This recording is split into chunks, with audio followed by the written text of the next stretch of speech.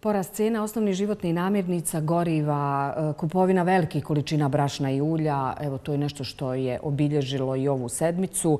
Juče je najavljeno usvajanje prijedloga zakona o izmjenama zakona o akcizama u Bosni i Hercegovini kojim bi se ukinuo ovaj poseban porez na e, naftne derivate u trajanju od šest mjeseci. Nije usvojen u Domu naroda parlamentarne skupštine Bosne i Hercegovine.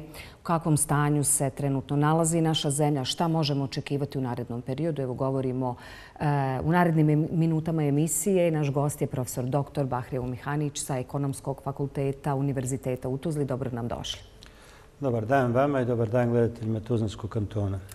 Četiri glasa protiv e, i predstavnika iz Republike Srpske, iz SNSD-a, deset za ovaj prijedlog o ukidanju akciza.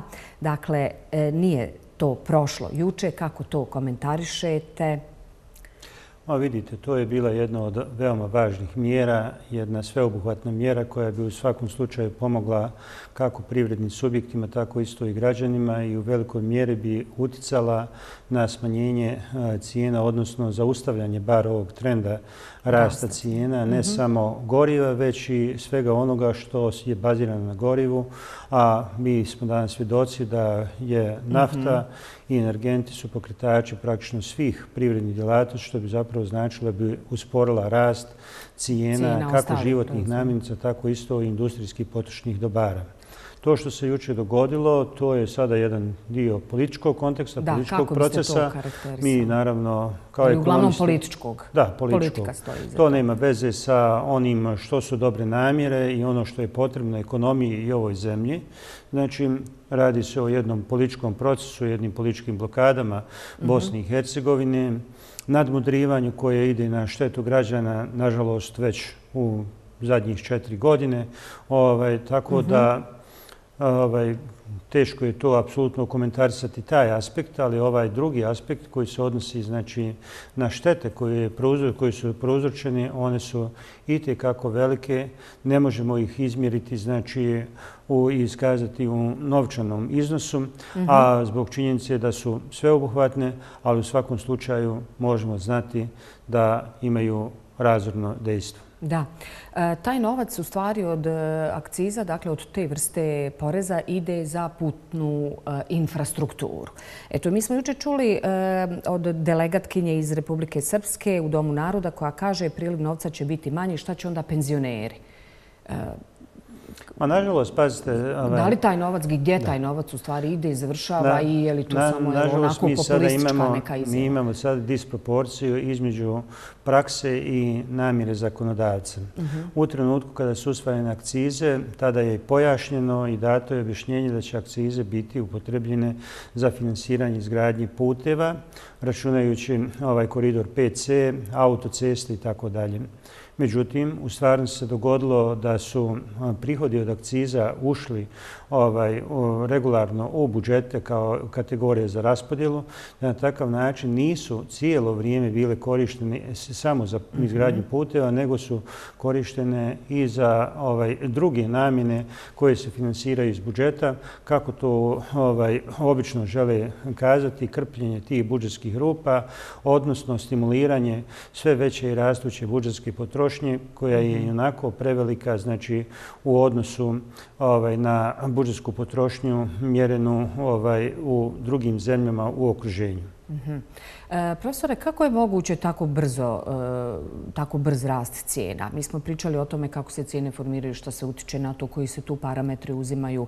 Kako je moguće da se evo, cijene gotovo svakodnevno mijenjaju i evo, došli smo do cijene ulja od 5 maraka? Gotov maraka. Mi u ovom trenutku zaista ne možemo govoriti o ekonomskim kalkulacijama koje bi mogle biti korištene kao osnova za mhm. razumijevanje povećanja cijena. Zapravo ovaj, problemi nastaju znači, na, sa rastom cijena na ovaj, potrošačkim tržištima zbog činjenice da država u ovom trenutku, odnosno entiteti i kantoni, nisu reagovali na vrijeme kada su trebali reagovati sa robnim rezervama. Drugim se ovaj, poslovni subjekti, oni kreiraju cijene naspram ovaj, svojih ovaj, poslovnih politika i naravno te njihove poslovne politike su njima jasne.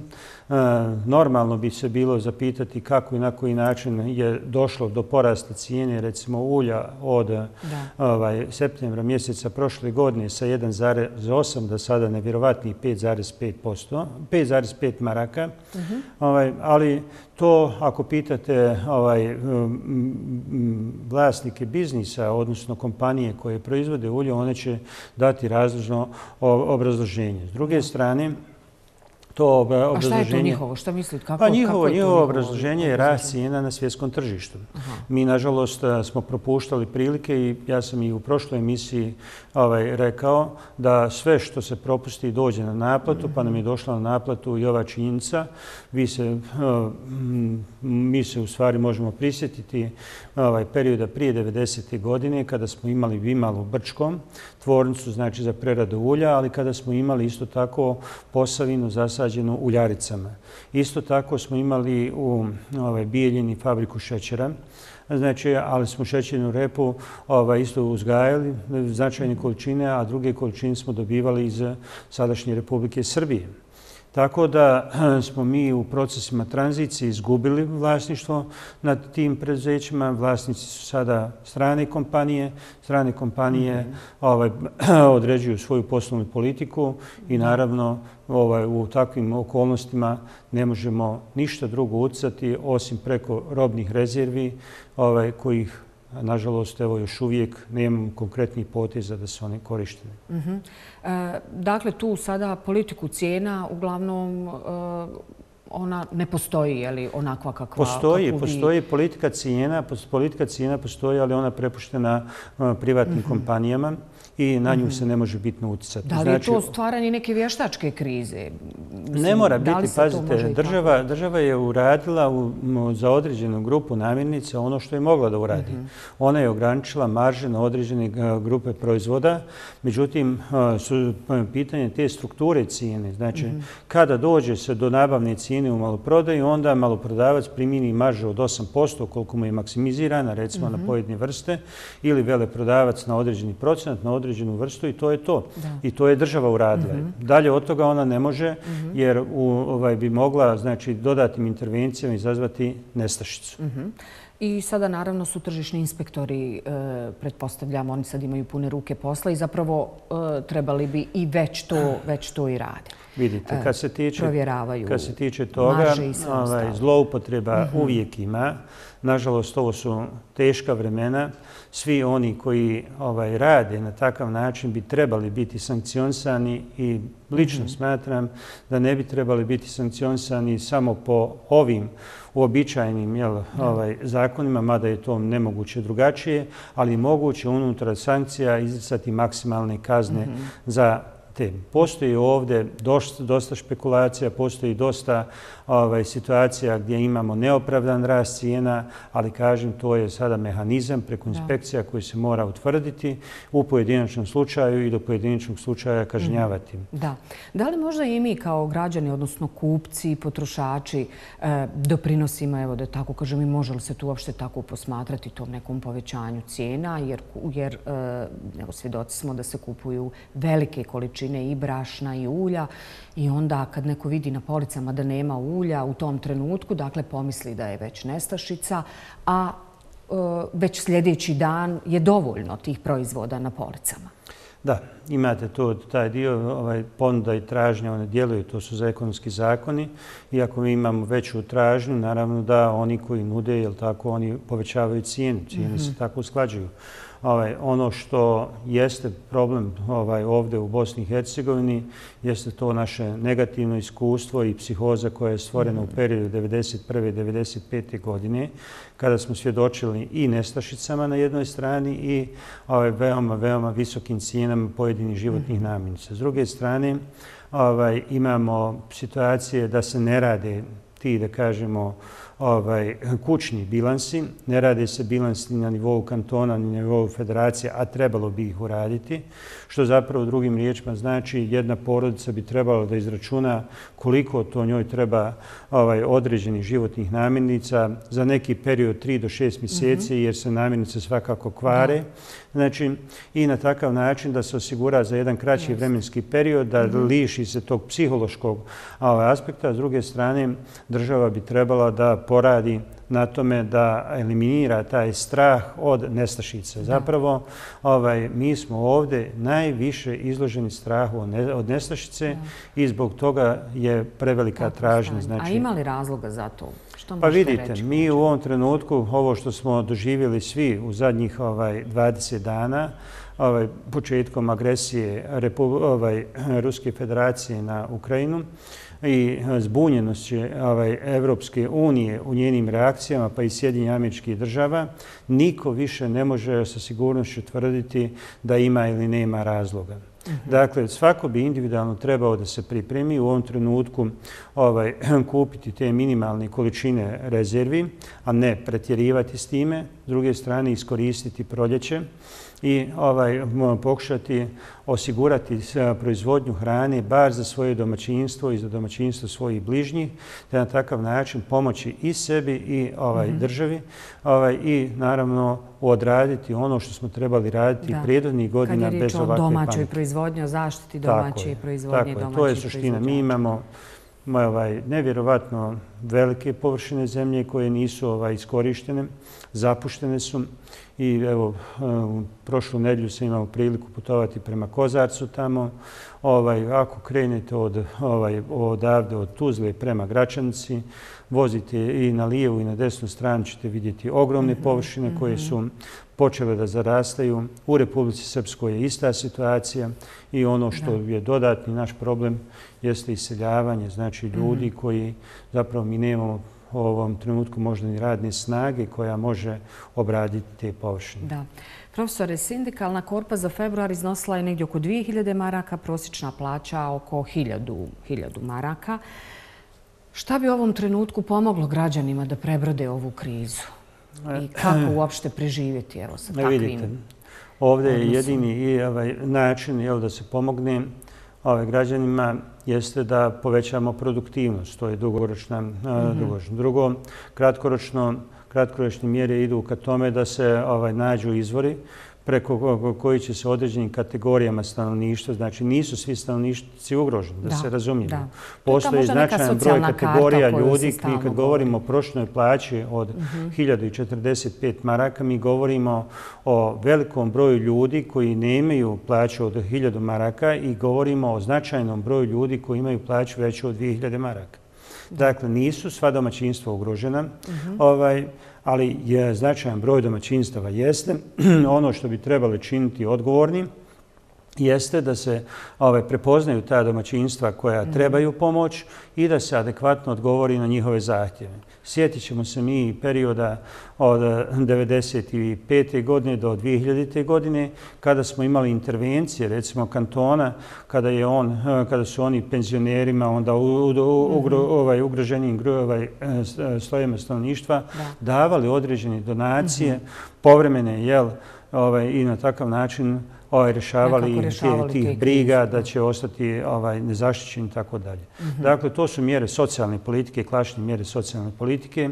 Naravno, mi u ovom trenutku možemo očajavati zbog činjenice da mi nemamo socijalne karte, da. mi imamo taj problem, ne znamo kome treba u ovom mhm. trenutku dati novac, Ovaj, ali u svakom slučaju, obzirom da se radi o jednom situaciji koja je krizna situacija, koja, koja zahtjeva krizni menadžment, ja lično vjerujem da uz jedan povećan angažman može se doći ovaj, do toga koje su to kategorije stanovništva koje trebaju pomoć u ovom trenutku. S druge strane, budžeti su, zahvaljujući rastu cijena, sve puniji. Postoji znači, prostor u budžetima i jedinica lokalne samouprave, i kantona, i federacije mhm. prostor da se tim stanovnicima redistribuira znači, taj novac koji dolazi od povećanja ovaj, cije, ovaj, kao, kao mhm. posljedica povećanja, povećanja cijena, povećanja Se stalno govori da su budžeti puni. Dakle, i sad to treba rasporediti na pravi način, a puni su zbog povećanje kupovine, kako ste Pravi način bi bio znači da se ovima koji su socijalne potrebe u mhm. što hitnije prema njima reaguje, da se preispitaju ovaj, isto tako plate budžetskih zaposlenika, da se njima to pomogne i da se značajan dio odvoji za poticaj privredi i poticaj poljoprivredi, naročito u ovom dijelu koji se sada evo dešava poljoprivredna sjetva. Mhm, mhm. Recimo, sada bi bilo posve razumno da se ubrzaju sve te administrativne aktivnosti, da se isplate ovaj, naknade koji poljoprivrednici, poljoprivredni proizvođači čekaju za četvrti mhm. kvartal prošle godine, da se avansno uplate ovaj, naknade za prvi i drugi kvartal i na takav način da im se njima pomogne da oni zasiju što više površina a s druge strane da se razmisli, da se poveća taj, ovaj, kroz rebalans budžeta, da se poveća taj iznos, pa da se ono što je avansno uplaćeno za drugu, drugi kvartal dodatno znači, ovaj, uplati i na takav način da se poljoprivredna proizvodnja stimulira. Da. O tome smo govorili evo baš na početku emisije sa ministrom poljoprivrede, pa evo čekamo, nadamo se da će, da će to biti i da će se to uspjeti realizovati na vrijeme, da ne bude prekasno. Možete li izdvojiti neku, evo do sada, e, mjeru vlade ili nešto što je vlada poduzela da je dobro i da biste vi to podržali? Nažalost, nažalost dakle, toliko imamo problema i u svim segmentima. Nažalost, mi u ovom ono trenutku nemamo uopće mjera. Pazite, mi nemamo šta da izvojimo. Mi uopće nemamo mjera. A evo, ako se vi možete ovdje sa vašim gostima prisjetiti da smo imali konkretnu mjeru na terenu, pomozite mi ovaj, da se sjetimo te mjere. Dakle, mi imamo situaciju da Federa, ovaj, budžet Federacije Bosne i Hercegovine nije usvojen. Imamo situaciju da u Tuzlanskom kantonu ovaj, ima, smo imali ovaj, smjenu vlade u prošlom mjesecu, jel?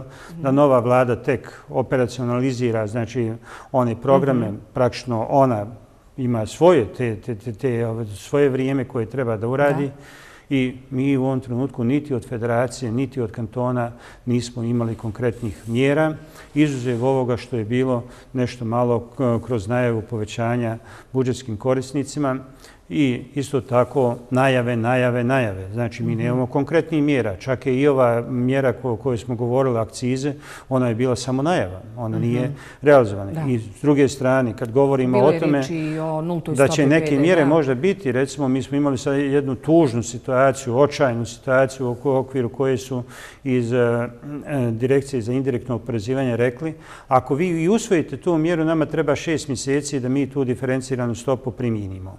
Pa Pazite, zakon o PDV-u je usvojen 2016. godine.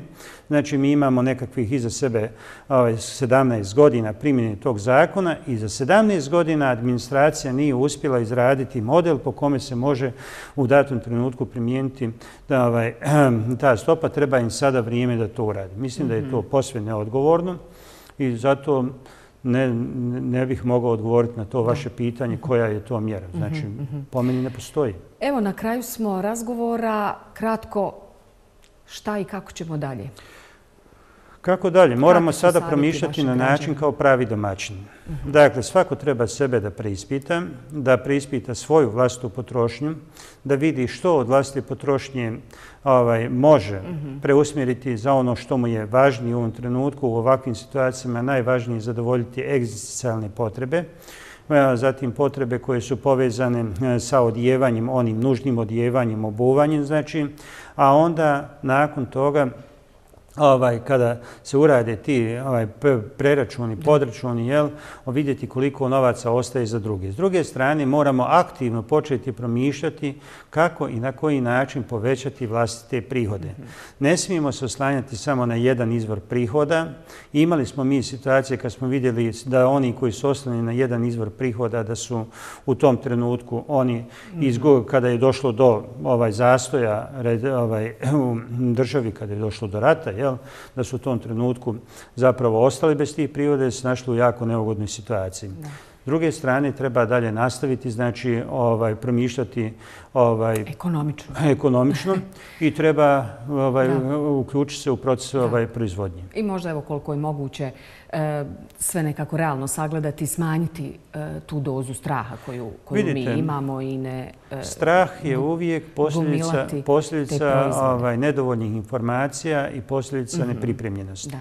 Dakle, mi moramo se dobro pripremiti, kad se dobro pripremimo, kažem, na individualnom nivou, onda u okviru svojih preduzeća, u okviru svojih organizacija i, I moramo stalno iznova postavljati pitanje šta mi individualno i zajedno mm -hmm. možemo doprinijeti, jer je očito da ovo što imamo od vlada, iako bude bilo aplicirano, neće biti dovoljno da možemo znači, biti mirni, u dugom roku. S druge strane, ove pripreme i ovaj dio, ovakav pojačan angažman bi nama dobro došao da ga nastavimo ako Bog da i kad ovo sve prođe i kad se završi. Jeste. Hvala vam lijepo, profesore, na izdvojenom vremenu. Hvala i vam.